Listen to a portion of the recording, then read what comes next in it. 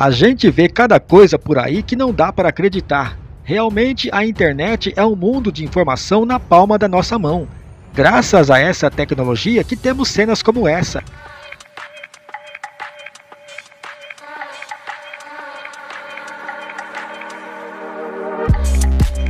E até mesmo nas igrejas podem acontecer situações engraçadas ou assustadoras, e os irmãos não perdem tempo e registram tudo e jogam na rede.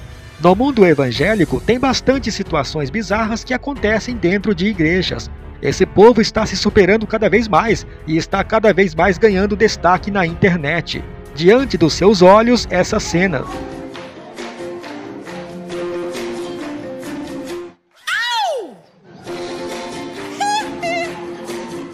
E a pergunta é: cenas como essa servem para quê? Edificar a igreja ou envergonhar cada vez mais o evangelho de Jesus?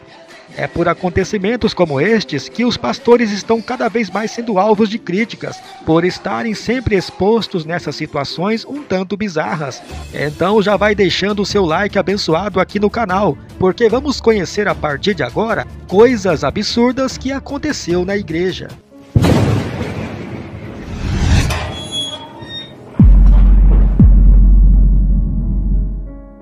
A igreja evangélica tem a finalidade de alcançar vidas para Jesus através da pregação da palavra, que é a Bíblia. Mas, infelizmente, muitos dos pastores acabam sendo cada vez mais alvo de críticas pelas situações que passam. Por cometerem algo engraçado ou assustador, são expostos na internet. Cantora assustadora. E começamos já vendo algo sobrenatural, que é essa cantora.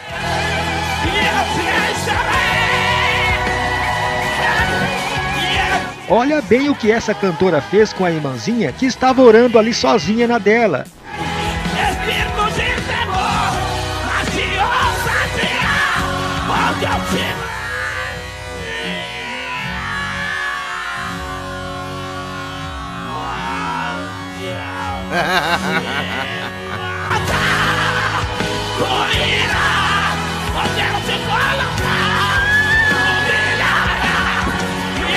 Eita fogo de Jeová! Meu brother, sensacional!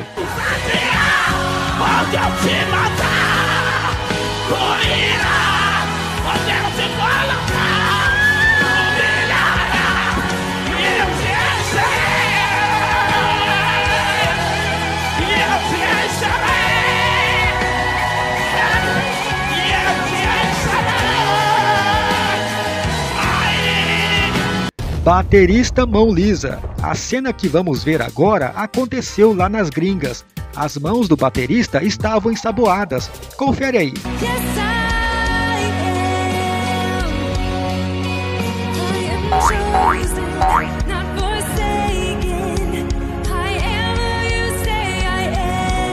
Já no Brasil também não foi diferente. Esse cantor famoso no mundo cristão quase foi atingido pela bagueta se tentam destruir-me, se tentam destruir-me, zombando da minha fé,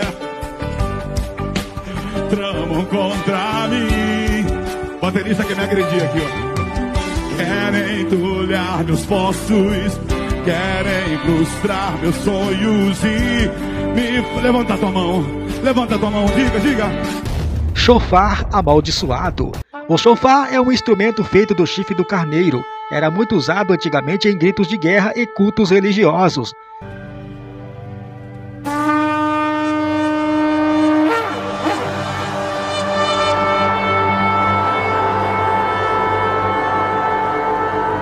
Nessa igreja tentaram reproduzir o som, mas parece que não saiu como esperava.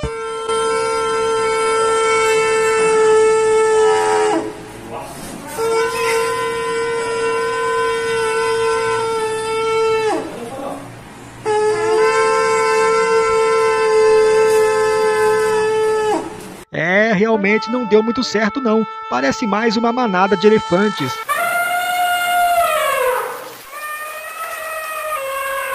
Irmã proibida de cantar. Na internet, quando algo estranho é compartilhado, logo gera uma enorme discussão, como essa cena dessa irmã que pede ao pastor para deixá-la cantar só um corinho. Mas veja a atitude do pastor. Outros podem glorificar Jesus pela vida, aleluia, da serva de Deus. Amém? Já, filha? Eu gostaria de louvar. Eu nunca louvei a Deus aqui, mas vou contar um corinho. Só um corinho. Não, não, A igreja toda cai na risada. Mas há quem diga que conhece essa irmã e que ela sofre transtornos mentais. Podem glorificar Jesus pela vida, aleluia, da serva de Deus. Amém? Já? E essa não foi a primeira vez que pede a oportunidade para cantar. E o pastor já está ciente, sabendo lidar com ela toda vez que ela vai até o púlpito. Eu gostaria de louvar. Eu nunca louvei a Deus aqui, mas vou contar um corinho. Não, Só um corinho. Não, não, Cantor exagerado. Agora chegou a vez de falar do mestre das firulas vocais.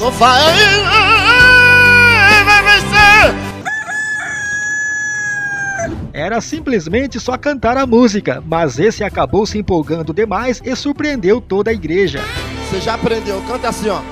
Porque chorar tu vais vencer. Já aprendeu? Cante comigo. Porque tu vais. Porque tu vais. Olha este anjo bem pertinho de. Até os cantores profissionais exageram um pouco nas suas performances na igreja. Agora esse aqui já foi longe demais. Isso porque ele resolveu dar uma aula de técnicas vocais bem na hora do louvor. Vamos ver. Para o seu e tu tens olhado, olhado para Deus dentro de ti. É. Saiba, tens um Deus que olha assim e zela só os vencedores, por favor, porque tu vai, vai vencer, porque chorar, tu vai, vai vencer. Olha este anjo bem pertinho de você. Cantor voz de guitarra. É, continuando nessa pegada de firula na voz, vemos esse cantor aqui que também resolveu dar uma verdadeira aula de solfejo. Ele teve a brilhante ideia de fazer o solo de guitarra na voz. Veja com seus próprios ouvidos.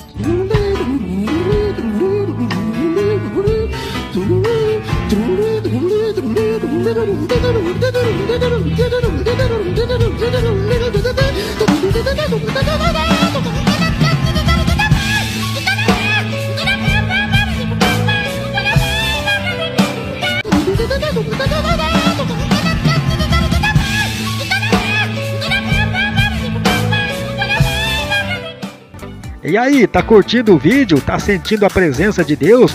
Então não esquece de deixar um like aqui e comente o que você acha dessas coisas absurdas que acontecem nas igrejas. Rindo no altar. Vamos continuar com essa nossa viagem empolgante pelo mundo musical. Dessa vez com essas meninas do grupo de louvor. Elas estão aqui, na frente do altar, preparadas nessa oportunidade para louvar a Deus. Bastou uma começar a rir que ninguém aguentou e passou a rir também. Até a gente que está assistindo não aguenta de ver isso.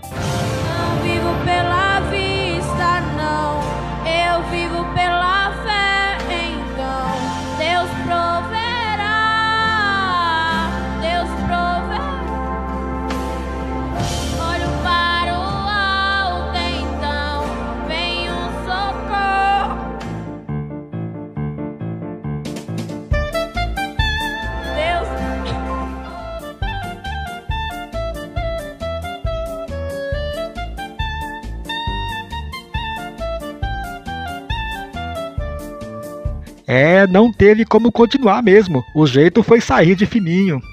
Raça negra na igreja. Na igreja, a vantagem de um músico é que se pode tocar de tudo. E quando não tem nenhuma música para cantarem, é hora de tocar um raça negra na igreja.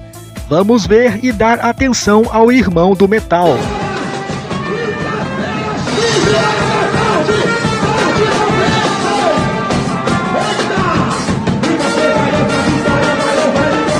Meu brother, isso sim que é a alegria de estar na presença de Deus, louvando um pagode para Jesus.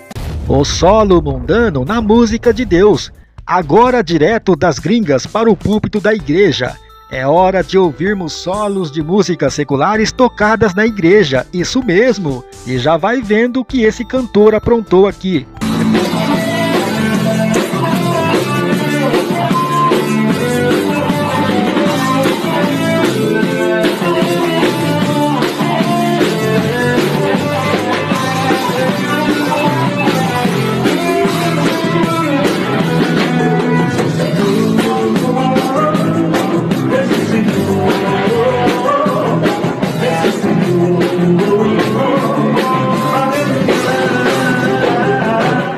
Você percebeu o que ele fez na introdução do louvor? Ele colocou o solo de uma música da banda Europe.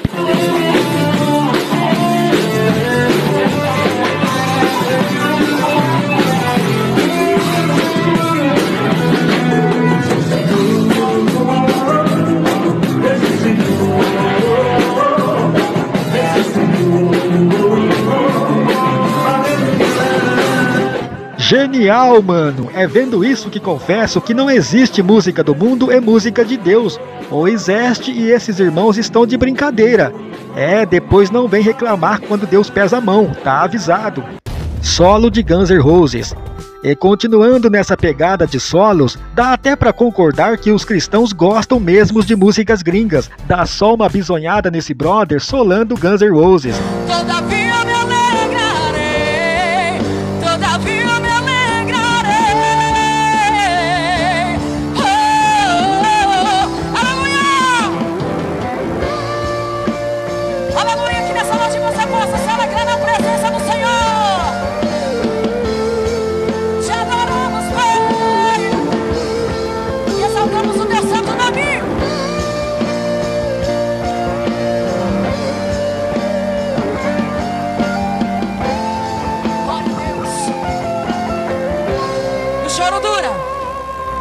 E você tá pensando que ele parou por aí? Não, olha ele aqui de novo. E de novo o solo do Guns N' Roses.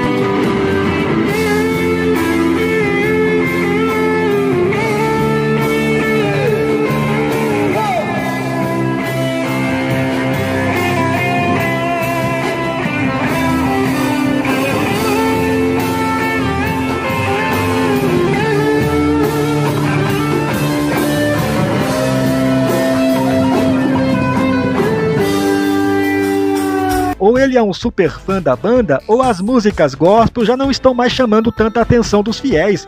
É, meus queridos, é só gênio no púlpito de igreja. Show essas apresentações!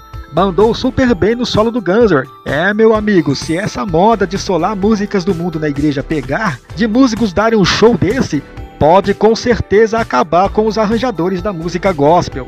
Coreografia do Diabo nas igrejas evangélicas é muito comum usar-se da dança como uma forma de evangelizar.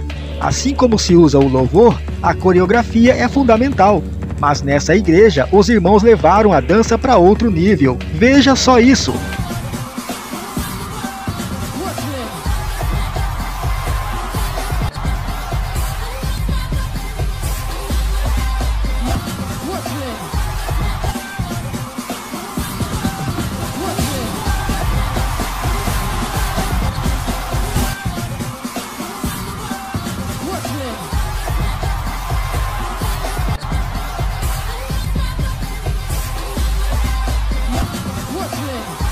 E essas jovens que resolveram inovar e mostrou para a igreja que dançam muito bem. Vamos ver.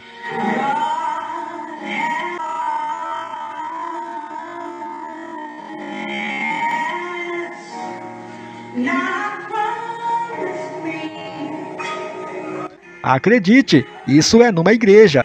E a pergunta é: cabe esse tipo de dança dentro de uma igreja? Só sei que os varãos aprovaram. Já Deus creio que está bem longe disso.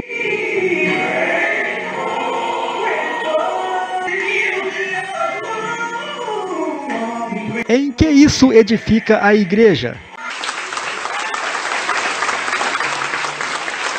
As igrejas atuais mais parecem como casa de shows do que a casa de adorar a Deus. Isso porque homens e mulheres vão até a igreja com um propósito bem diferente do que buscar a Deus. As mulheres fazem de tudo para atiçar e provocar os homens, e ela sabendo disso usa de artimanhas como ir bem vestidas, mas no sentido provocante.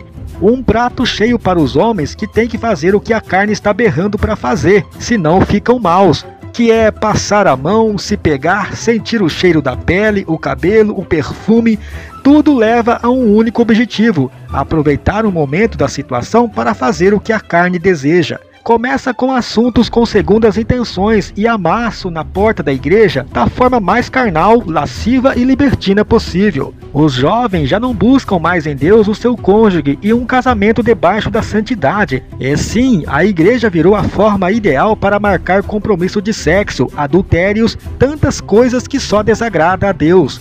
Tudo isso que falamos acontece depois que termina o culto. Lembrando que não estamos generalizando, e sim falando do que acontece na maioria das igrejas evangélicas. Então é isso aí, vasos de Deus. No mundo evangélico é assim mesmo: fiéis cheios de energia, esbanjando alegrias e muita unção de Jeová. Já outros, nada usado pelo Espírito Santo, procurando apenas satisfazer seus desejos carnais. Se você não gostou disso tudo que apresentamos, mas achou a informação útil, já peço que deixe o seu like para nós. E se por acaso não é um inscrito, aproveita e se inscreva agora para ficar ligado nesse mundo gospel. Tamo junto! E não esqueça, para um dia herdar o céu, seja hoje aqui na terra um crente fiel. Até a próxima, valeu!